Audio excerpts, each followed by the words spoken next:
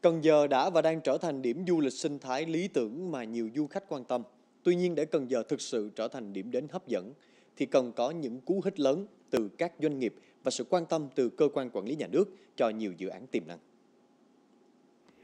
Huyện Cần Giờ đặt kỳ vọng giai đoạn 2021-2025 có thể thu hút 17 triệu lượt khách, tức mỗi năm đạt 3,4 triệu lượt khách. Hàng loạt kế hoạch sẽ được thực hiện như khu ẩm thực đặc sắc Cần Giờ, đề án du lịch cộng đồng ấp Thiền Liên, xây dựng sản phẩm OCOP trong lĩnh vực du lịch đạt từ 4 đến 5 sao. Các tuyến du lịch đường sông mới cũng đã được khảo sát và sẽ thực hiện. 12 cái sản phẩm mà hiện nay ô cốp hiện nay mà huyện Cần Giờ đang trình đã trình thành phố và hiện nay đang chờ công nhận đó thì à, các cái sản phẩm tiếp theo nữa là cũng chưa có cái sản phẩm nào mà gọi là sản phẩm là về du lịch. Góp ý cùng địa phương, các sở ban ngành và doanh nghiệp cho biết du lịch sinh thái là một sản phẩm đặc trưng tạo nên thương hiệu của Cần Giờ và tất cả dự án cần tập trung xây dựng dựa trên quan điểm thống nhất này. Cái định hướng của Sở Giao thông thành phố theo sự chỉ đạo của thành phố thì các tuyến để liên kết vùng như vậy là mình hoàn toàn ủng hộ thôi. Không có vấn đề gì à, trong này và chúng ta cũng đã có sẵn tất cả những phương tiện cũng như các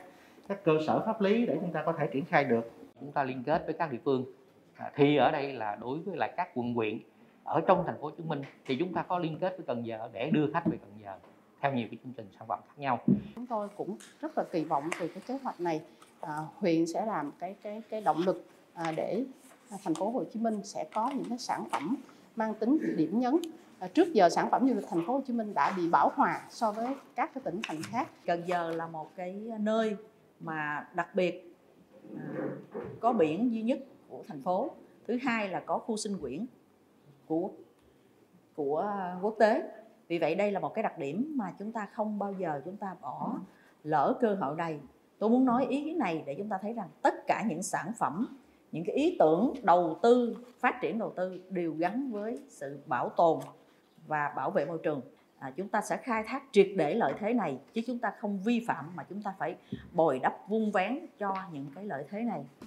nhiều địa chỉ du lịch rất tiềm năng và được đề nghị sẽ đầu tư trong tương lai để đưa vào khai thác tại Cần Giờ như khu di tích khảo cổ học cấp quốc gia dòng cá vồ, núi dòng chùa thuộc xã đảo Thạnh An, tuyến đường sắt từ Đạo Trí, quận 7 đi Cần Giờ, cảng nước sâu ở Cù Lao Phú Lợi, Gò Gia Cần Giờ cũng đã được doanh nghiệp đề xuất thực hiện. Đây thực sự là những cú hích rất lớn, phục vụ cho sự phát triển kinh tế xã hội và du lịch tại Cần Giờ cũng như của thành phố Hồ Chí Minh.